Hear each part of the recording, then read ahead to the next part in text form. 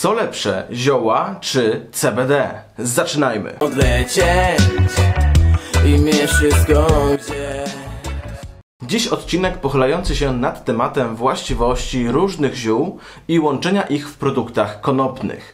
Przedstawimy dziś wiele takich ziół, takich, które znajdują się w szotach konopnych. Tak naprawdę każde zioło zasługiwałoby na osobny odcinek.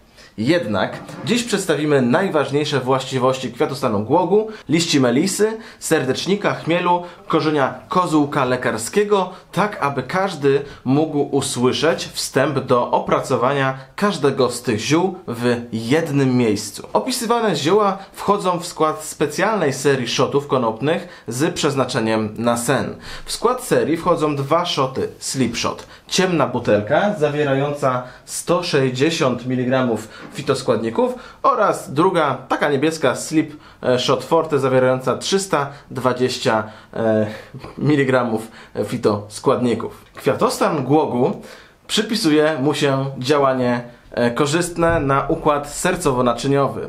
Kwiaty i owoce głogu wzmacniają naczynia krwionośne, opóźniają procesy starzenia się organizmu oraz sprzyjają obniżeniu złego cholesterolu LDL, hamują rozwój miażdżycy i normalizują ciśnienie tętnicze. Liść melisy. Powszechnie pije się napary z liści melisy przy problemach ze snem albo na uspokojenie. Jednak nie są to jedyne właściwości prozdrowotne melisy. Melisa pomaga w zaburzeniach snu, w tak zwanych kołataniach serca. Pomocna jest dla osób walczących z nerwicą i zaburzeniami trawienia, problemach z bólami głowy oraz dolegliwościami e, płucnymi. Z melisy korzysta się także przy przeziębieniu, grypie i chronicznych zapaleniach oskrzeli. Właściwości serdecznika zna niewiele osób, jednak warto się z nimi zapoznać. Przede wszystkim serdecznik dzięki zawartym w nim e, przeciwutleniaczom obniża ciśnienie krwi oraz zwiększa wydolność mięśnia sercowego. W roślinie znajdują się również m.in. garbniki, sole mineralne, flawonoidy i olejek eteryczny. Dzięki tak dużej ilości cennych składników serdecznik dodatkowo wykazuje działanie uspokajające oraz nasenne. Chmiel zwyczajny. Myślę, że większość z Was wie, że chmiel pochodzi z rodziny konopiowatych, co też wskazuje na fakt, że chmiel dobrze łączy się z innymi konopiami. Kto z nas nie lubi sobie zawaporyzować ziółka,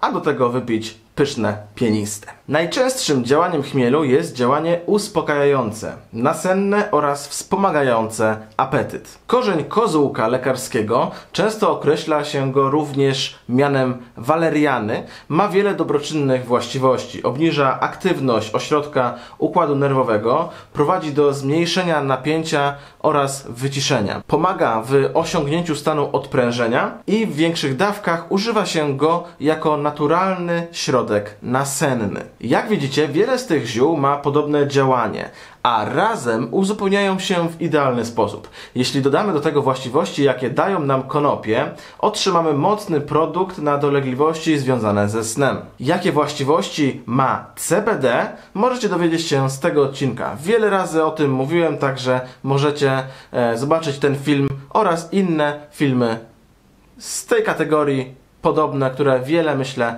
e, też Wam wyjaśnią, na co pomaga, jakie ma właściwości, zastosowania, działania itd.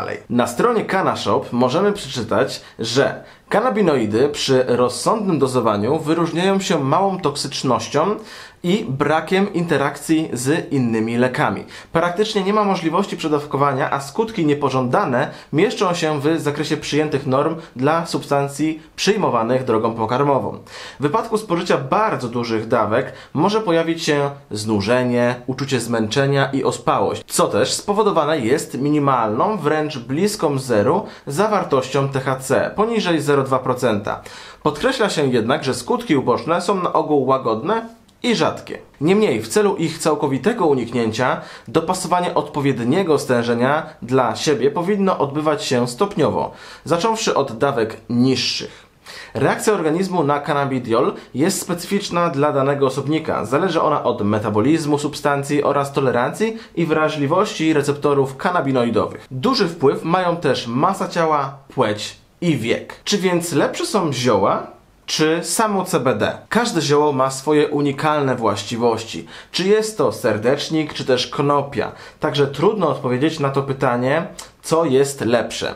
Wiele zależy od naszych preferencji i tego, co chcemy uzyskać. Jednak jeśli chodzi o lepszy sen, to opierając się na własnych doświadczeniach i doświadczeniach bliskich mi osób, mogę powiedzieć, że slipshoty są w czołówce e, produktów poprawiających sen. Zapewne w niedalekiej przyszłości zaprezentuję Wam zbiór takich produktów, jakie według mnie e, dobrze radzą sobie z problemami właśnie związanymi ze snem. Po więcej informacji dotyczących samych shotów e, zapraszam Was na stronę kanashop.eu z kodem konopnyweb. Shoty znajdujące się na ich stronie, występujące pod markami takimi jak Cannabis Boys, Hemp Medicam i Slipshot możecie mieć taniej o 15%. Zapraszam Was na mojego nowo założonego TikToka i Discorda. Na TikToku będą pojawiać się często krótkie filmy i to będą różne filmy z kategorii e, właśnie tematów konopnych. I takie filmy, które w ogóle nie były poruszane jeszcze tutaj na YouTubie oraz takie zachęcające do zobaczenia niektórych filmów,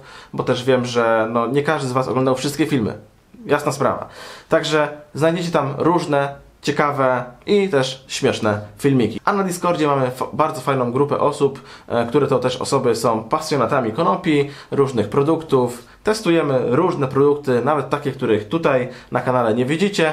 E, także zachęcam serdecznie, kto ma Discorda, e, a kto nie ma, to zachęcam do założenia. To by było na tyle w dzisiejszym odcinku. E, dziękuję i widzimy się w kolejnych odcinkach. Pozdrawiam, bless.